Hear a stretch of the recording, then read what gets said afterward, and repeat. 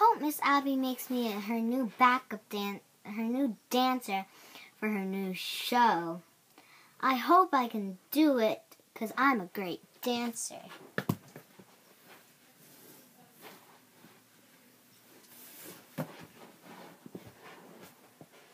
See?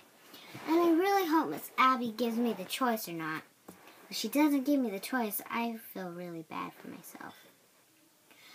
So leave a comment down below saying if Miss Abby should give me a chance of loneliness or not. Comment down below saying yes, no, maybe. I don't know.